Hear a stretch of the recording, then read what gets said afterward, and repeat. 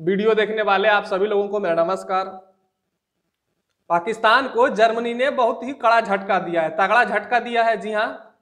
और दूसरे भाग में आएँगे कि नेपाल को इंडिया एक नया पाइपलाइन कंस्ट्रक्ट करके देगा। जी हाँ नेपाल के लिए इंडिया एक नया पाइपलाइन बनाएगा। इवन दो नेपाल और इंडिया के रिलेशन रिसेंट टाइम में अच्छे नहीं रहे हैं, मैं इस दोनों भाग के बारे में मैं आपको बताऊँगा।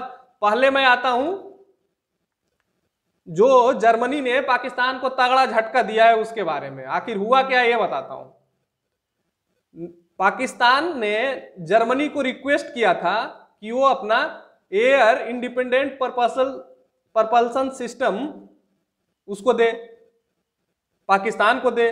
आखिर ये होता क्या है, मैं ये बताता हूँ। और पाकिस्तान के लिए क्यों ये बहुत ही ज़रूरी है?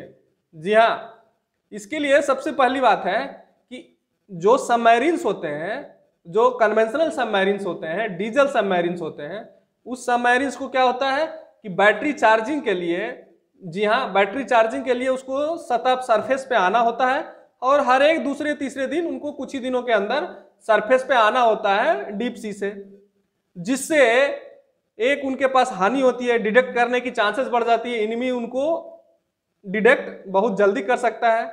उनका पोसाइड कोई भी है, अमेरिका का जो भी है पोसाइडर एयरक्राफ्ट कर सकता है या जो भी है, वो हंटिंग डिडक्ट करके हंटिंग कर सकता है उस पंडुबी को तो खतरा बढ़ जाता है पंडुबी पे। जी हाँ तो इसलिए सभी देश ये चाहते हैं कि उसकी पंडुबी जितना देर पानी में रह सके, जितना ज़्यादा दिनों तक पानी में रह सके, उतना फ़ायदा है।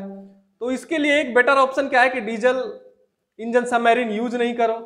तो क्या है कि आप यूज़ करो न्यूक्लियर पावर सबमरीन जिसमें न्यूक्लियर रिएक्टर होता है। जी हाँ और उस न्यूक्लियर रिएक्टर पावर जनरेट करता है, जिसे पंडुबी अनलिमिटेड टाइम कहिए। जी हाँ अनलिमिटेड टाइम तो मतलब लॉजिकली नहीं होता है, लेकिन महीनों तक पानी में रह सकता है। और इंडिया के पास न्यूक्लियर पावर सबमरीन है, अभी ही हमने न्यूक्लियर पावर सबमरीन बनाया है। जी हाँ हमारे पास है, हम ऑपरेट करते हैं न्यूक्लियर पावर सबमरीन, उसका नाम आईएनएस अरिहंत है। बट न्यूक्लियर पावर सबमरीन में हानियाँ भी है, उसमें है कि ये बहुत बड़ी होती है तो छोटे लेवल पे हम इसको यूज़ नहीं कर सकते। और इसको ऑपरेट करने में बहुत ज़्यादा खर्चा होता है, जहाँ क्रिटिकल टेक्नोलॉजी होती है, पैसा ज़्यादा लगता है तो हम बड़ी मात्रा में न्यूक्लियर पावर सबमरीन नहीं रख सकते। तो डीजल पावर सबमरीन रखना ही होता है कंट्री को, विकासशील कंट्री को, और विकसित कंट्री भी ज़्यादातर कंट्री रखते हैं डीजल पावर सबमरीन पाकिस्तान के पास अभी न्यूक्लियर पावर सबमरीन नहीं है जी हाँ डीजल पावर सबमरीन है उसके पास। और वो न्यूक्लियर पावर सबमरीन रख भी नहीं सकता है, उसके पास अब औकात भी नहीं रही कि न्यूक्लियर पावर सबमरीन रखे। तो इसके लिए पाकिस्तान ने क्या किया कि जो उसके सबमरीन्स को बाहर आना होता है, पानी के बाहर आना होता है, हर एक सप्ताहों में, हर एक एक दो दिनों के बाद, दो दिनों, तीन दिनों के बाद बैटरी चार्ज करने के लिए जो डीजल इंजन से फिर चार्ज होता है तो क्या होता है कि उसको बाहर आना पड़ता है। तो उसको खत्म करने के लिए, उसके चांसेस जो हंटिंग की बढ़ जाती है, खत्म करने के लिए पाकिस्तान ने जर्मनी से हेल्प मांगी। और जर्मनी के चांसलर एंजेला मार्कल ने रिजेक्ट कर दिया पाकिस्तान का प्रपोजल बोला, नहीं देंगे। जी हाँ और फाइनली ये प्रपोजल रिजेक्ट हो गया पाकिस्तान का। और पाकिस्तान के एम्बेसी जो जर्मनी में है, उसको ऑलरेडी बता दिया गया है। सिक्स अगस्त को बता दिया गया है। ये खबरी खुल के आई है। और इसमें एक और इंपॉर्टेंट चीज़ है। आप बोलिएगा, इंडिया के पास क्यों नहीं है? इंडिया के पास भी एयर इंडिपेंडेंट परपसल सिस्टम नहीं है लेकिन इंडिया के डीआरडीओ खुद बना रहा है और कहा जा रहा है 2023-24 तक इंडिया खुद बना लेगा। जी हाँ। और दूसरे भाग में है कि नेपाल को इंडिया एक नया पेट्रोलियम गैस पा, पेट्रोलियम पाइपलाइन देगा। नेपाल का लगभग पूरा जितना भी एनर्जी प्रोडक्ट्स हैं पेट्रोकेमिकल्स का वो सारा इंडिया ही देता है। इंडिया से ही एक्सपोर्ट होके जाता है। बट अभी तक क्या था कि ट्रकों से जाते थे। हालाँकि सितंबर 2019 में इंडिया ने एक पाइपलाइन ऑलरेडी बनाया है लेकिन उस अफिशियंट नहीं है। नेपाल भी ग्रो कर रहा है तो नेपाल को भी चाहिए और ज़्यादा एनर्जी तो अभी ज्वाइंट वर्किंग ग्रुप की मीटिंग हुई है 2017 में बना था दोनों नेपा, नेपाल और इंडिया के बीच। और इसकी एक मीटिंग हुई है 13 अगस्त को। उसमें ये सारी बातें रखी गई और फाइनली इस पर फिजिबिलिटी स्टडी स्टार्ट हो गया, इसका एक्सप्लोरेशन की कहाँ लगेगा? ये स्टार्ट हो गया है और इंडिया कमिटेड है इंडिया करेगा। अब आप लोग कहिएगा कि इंडिया इस पर इंडिया और नेपाल का रिलेशन अच्छा नहीं है तो फिर इंडिया कर क्यों रहा है ये सारी चीज़ें? तो उसके लिए एक बात है कि ओली सदा रहने वाले नहीं है। जी हाँ केपी ओली सदा रहने वाले नहीं है और केपी ओली इसलिए भी इंडिया पे ज़्यादा एग्रेसिव थे क्योंकि उनकी गवर्नमेंट को बचाने में चाइना ने सहयोग किया और सहयोग कर रहा था।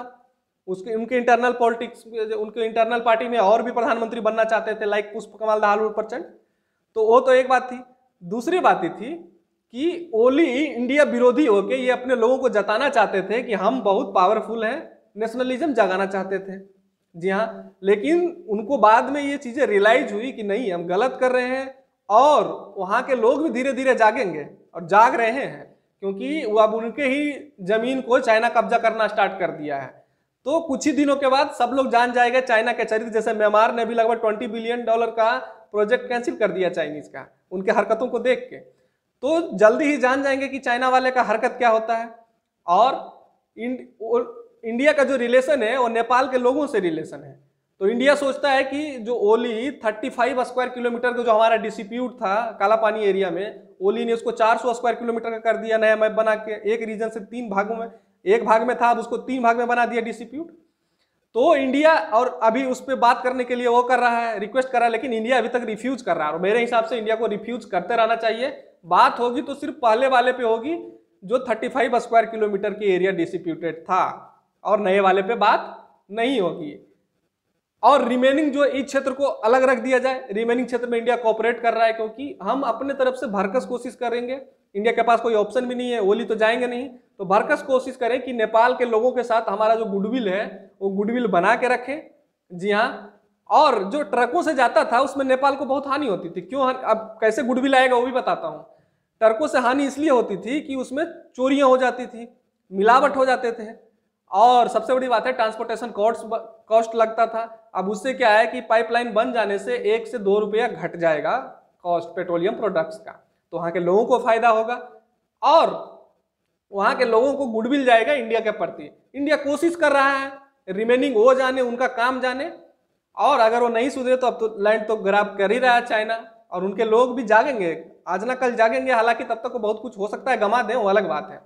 जो भी अभी तक मेरा आप वीडियो देख रहे हैं उनको वीडियो देखने के लिए धन्यवाद। हैव ए ग्रेट डे जय हिंद।